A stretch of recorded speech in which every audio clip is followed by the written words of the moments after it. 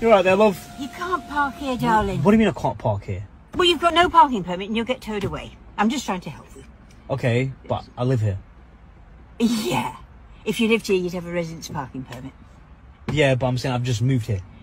Really? How can you afford to move? Somebody like you. This is a very nice car. It's filthy. You you can understand why I was suspicious of you. Well, why? Because if you owned this car, you But would don't let car. it get filthy like this. But yeah, but it's just a dirty car. That's it. Like it, it, it, I don't know, matter. but the people around here will judge you by a dirty car. Okay, so, you, so so you're admitting, yeah, you're judging me because my car is dirty. Yes. Okay, but then you just said that because I'm a young guy as well. Yes. So you're judging me because I'm a young man in a nice car in a nice area and because the car's dirty, Yes.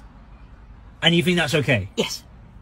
Absolutely. And if you don't want to have to explain yourself all the time, one, No, no, get yourself a residence parking permit and get your car clean. There are plenty of pound people around here. If you're earning so much money, then why can't you afford to get someone, one of the local kids, to wash this car for you on a regular basis? I can give you some very good contacts. no, no, if but, no, you but it's, because the car is black, yeah, it gets dirty fast. Now, when did you last wash it? No, no, maybe a Come week on ago. now, when did you last wash it? It's- You're it's too none of your busy making loads of money. No, no, it's, it's, it's nothing to do with that, but it's none of your business, though, is it? Yes, it is actually, because I'm part of the neighbourhood watch. And